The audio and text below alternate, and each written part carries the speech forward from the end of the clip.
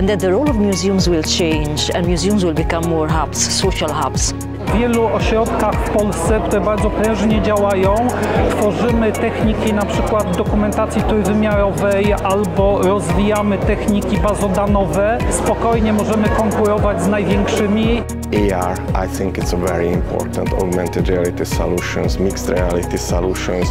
Ludzie więcej umieją, sprzęt więcej potrafi, dzięki czemu finalnie możemy uzyskiwać coraz to lepsze efekty.